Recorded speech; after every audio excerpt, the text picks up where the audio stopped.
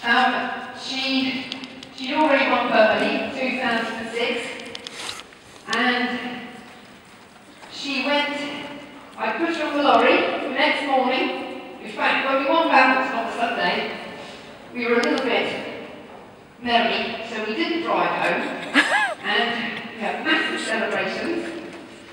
Got up in the morning, and it was, we, it was the year when it was rock hard, and rained. The rain had come 48 hours too late. And it was a really tough, tough battle because the ground was quite horrible. Can you just move these two so I can go through that? That would be helpful. And so we went home, three o'clock on Tuesday morning, Brit got on the lorry and I took her up to, um, where did it go? Twemlows Stud in Whitchurch, uh, yeah, near Shropshire area. I left her there for six weeks and I hated it. But they promised to ice her, they promised to walk her, and she did four attempts at embryo transfer, and the first one worked, and the last one worked.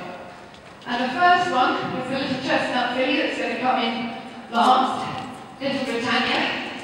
And actually, what they do, so they inseminate the mare with one of the semen YouTubes. I chose Jaguar Mail, who um, is still one of the most popular uh, stallions, invented stallions, it was tall, winky, thoroughbred, just what Brit wasn't. Brit was short, stocky, a bit like Queen Mother. Short and stocky, and very tough and lovely and a real professional. Um, but she needed some height and she, or the foals would need some height and some uh, sort of, well, lots of thoroughbred and some, some length to them. Because Brit was really short, very short coupled, short striding, wrong colour, um, lovely in there, but she was wrong colour, wrong sex, couldn't trot, and you couldn't even touch her ears. So, um, we, we went to Sun, and what they do is they, they inseminate the mare with uh, semen of the stallion. A week later, they fill, basically fill the mare up with water, fill up the uterus with water, and then they drain it out, and possibly there's a little live embryo in there. And I actually saw with my own eyes, it was about two millimetres, a little bubble in this long pipette. And that then gets put into a recipient man, surrogate man, and then that man carries it. Yep, so I actually saw little Britannia, which is two millimetres. And then I didn't see him. Um, but he was born six weeks later than his sister. Uh, a year that their mother and their father went to the Beijing Olympics. Brit won a silver medal for Australia. But hey ho. she was British bred, and so am I actually, I'm British bred. Um, top quality thoroughbred. And uh, and that these two have, uh, you know, I was very lucky. I thought, God, who wants a chestnut man? Um, you know what? At least one day I can breed from her. And he is very, very fertile. And he's already got 35 foals on the floor. And I think another 20 coming this year. So, thanks to Emma, who you know, I introduced you to at the start. And Emma comes from five minutes up the road from here. She works with me down in Wiltshire in my office. She does a lot of marketing and advertising, promoting of this stallion. And I think you will all agree that he looks amazing. So that will be thanks to Pure Feed.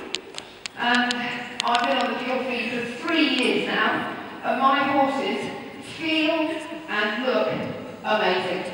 They're sane, they are strong, they're level in the brain, they're fit, and they're sound. And I think the combination of very good food, very good work, a real good routine, a good team behind, whether it's grooms, physios, um, owners, and of course myself, uh, when I uh, time to focus on my horses amongst running all the other businesses and all the rest of it.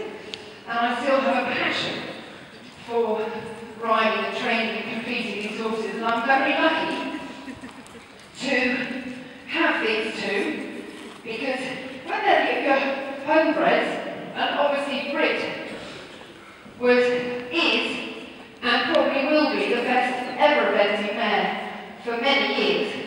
She is the only mare to have won in Kentucky. I don't think there's another mare that's won even two of them, let alone three of them. Um, I'm very lucky to have these two, um, and we have a syndicate that uh, you can still join if you want. Um, and I have shared, syndicate shares in these two, and you get for one share, you get both horses, so you can follow them, come to the events, be looked after, and uh, hopefully this year he's got two, he's got about four three-year-olds this year, and then next year they'll all be out starting to compete, which will be really interesting. So, Marley, he was named actually after Bob Marley, the singer, because he used to have, when he was a baby, he had a mane that looked like a Bellwell pony, just it sprouted everywhere. So he ended up being called Marley, and his sister's Millie. And he goes, he's, I think, the only stallion that combines his competition season with going to stud.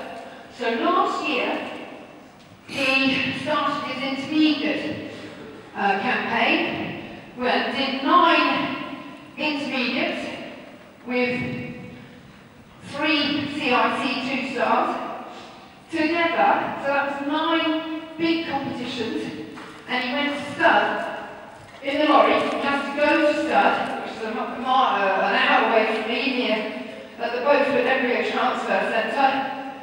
And he went to stud 18 times, as well as doing all his competition programme and his work. And